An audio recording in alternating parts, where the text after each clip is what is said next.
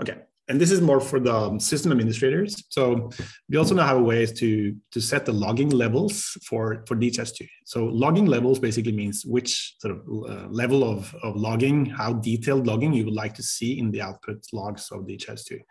Um, and the, the point of this is that sometimes when you kind of debug tricky issues, uh, which, is, which are hard to understand, then you might want to have more detailed logging than what is available in DHIS2 by default. So um, the, the, the, levels are typically like debug, info, warn, and error. And now you can set it even by package.